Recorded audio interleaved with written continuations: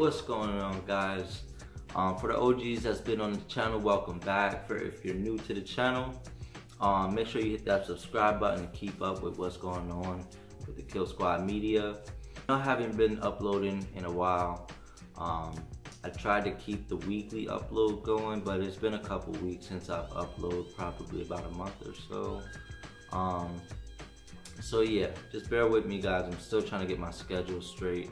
Um, I do work 40 hours a week on top of doing detailing on the side.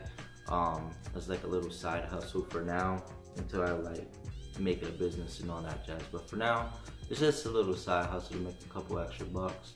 We got sponsored by SickSpeed. Now, a lot of people may know of them, a lot of people may not. Um, but just in case you don't, they are a automotive company. They make cosmetic parts, um, as well as some performing parts like catch cans, stuff like that. Go check them out. Link is gonna be in description. So with my sponsorship, I'm gonna be receiving some stuff once I put my first order in. Um, and that stuff that I do receive will be given to a subscriber. So for now, just subscribe just to make sure you know what's going on. Um, hit that bell as well. For the subscribers that basically see what the big surprise was, um, I'm gonna show you guys. Okay. So I got the Genesis Coupe, the 3.8. Okay. I wanted the 3.8 because I heard the 2.0 turbos have way too many issues to deal with. And I didn't want to have to deal with that stuff like the transmission mount, stuff like that, all types of weirdness. Turbos, and yeah. So I went with the 3.8. It's just instant power. I don't have to worry about extra parts being broken and stuff like that. So the reason why I went with the 2010 is because of this right here, the front end. I cannot stand the newer generation's front end. And that's just my personal opinion, but someone else may like it.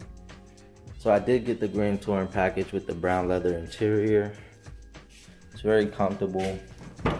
It is an automatic transmission because I will be swapping the motor out once it blows or I get tired of it or whatever. And I put these lights up in here too. Kind of gives it a different look when all the lights are on and stuff. I don't know, I like the blue. I might change it to white though, I don't know yet.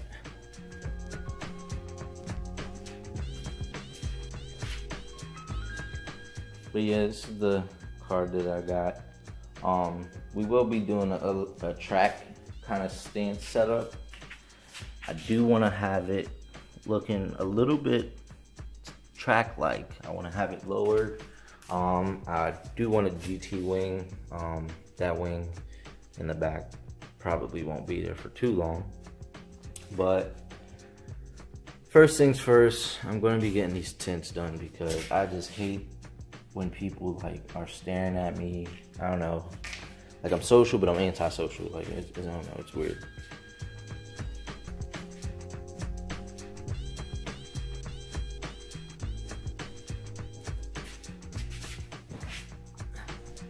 So like I said, with my first order from SickSpeed, they're gonna send me out some goodies, which I will be giving away to a subscriber. Um, so make sure you guys are subscribed um, to the channel because there's gonna be a lot more in store, a couple of how-tos and things like that.